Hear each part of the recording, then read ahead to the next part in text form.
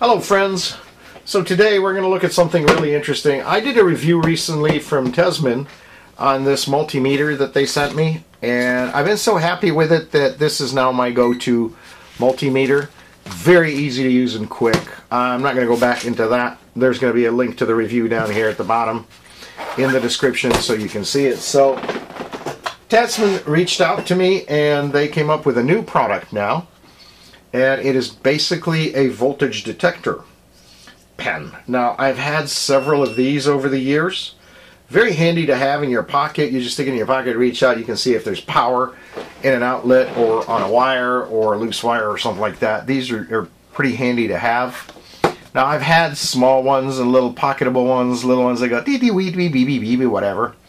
This is a new one that came out. Apparently it's available in three different colors. I got the green one. It has a lot of features. It is waterproof and dustproof.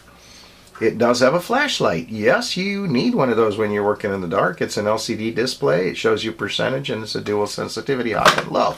Let's take a look at it. So here it is in all its glory. It's a pen, but it's kind of like a little bit bigger than a pen. It's more of a like, uh, if you want to call it a very, very large Sharpie maybe. So once you turn it on, it has a digital display which lights up so you can even see it in the dark if you're working in a dark area. It is dual range so you can change the range from 70 volt to 1 kilovolt or 12 volt to 1 kilovolt. It is pretty sensitive. I've gone next to power outlets and it'll really just light up. It'll also show you a power indication up here when you reach out to it. Additional features is it does come with a flashlight so you can have a little flashlight if you need to work in the dark it's a pretty decent flashlight actually. And rather than have a secondary tool or use your phone like a lot of people do, this has its own little built-in flashlight. It has a safety cover on the probe so you don't actually go into the into touching any metal. And it has a pocket clip. Now one thing that always impresses me uh, about Tesmen, it did last time on the multimeter and it does on this. This unit comes with batteries included. And best part of it is Tesmen is not throwing some of those cheap zinc batteries in it. They're actually putting Duracell alkali batteries in their units. And those come free, so as soon as you open the package, you take it out, it's ready to use. Uh, that's a nice little feature that I've liked about Tesmen. Uh, a lot of their equipment that come like that also come, these also come with those batteries. It's a newer company.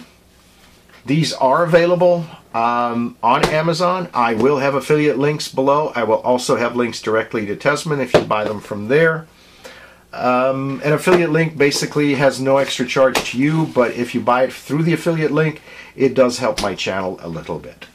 So I'd appreciate it if you did order from there. If you want a pocket tester, that's a little bit big for your pocket, but it is really a nice unit, very solid.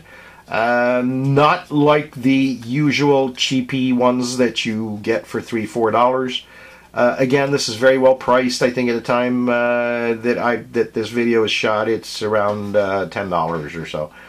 Uh, you can get it from Amazon, like I said. If you're a Prime member, you'll probably get it the same day or the next day.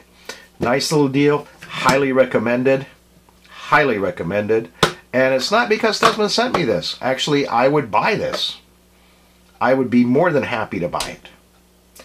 I will keep doing tests on miscellaneous testing equipment, although you know that my channel usually does radios, VHF, UHF, two-way radios, um, but then this is all equipment that we would all use when we're working with our radios. So whenever I get something like this, I'll also throw it in for a quick review. Alright folks, thanks for watching.